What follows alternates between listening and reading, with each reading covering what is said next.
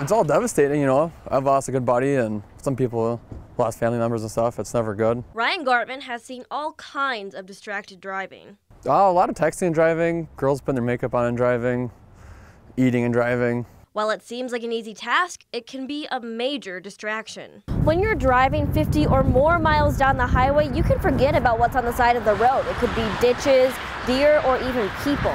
And sometimes that causes major accidents on highways like these. Definitely inattentive driving is on the rise over the last five, ten years. Oneida County Highway Commissioner Bruce Stefanik says part of this issue is because cell phones are a normal part of our day. Relying on them on the road can cause danger to anyone nearby. Our personal selves, we try to put those cell phones away when, when we're driving, but it's hard because it's part of our culture now. Oh, uh, yeah. Well, cell phones become more popular, I guess, so texting driving goes up, I would think, but do accidents happen more now?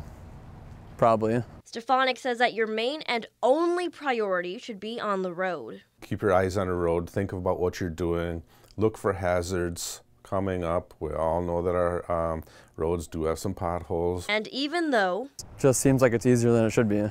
It's not. In Rhinelander, Angela Kim, Newswatch 12.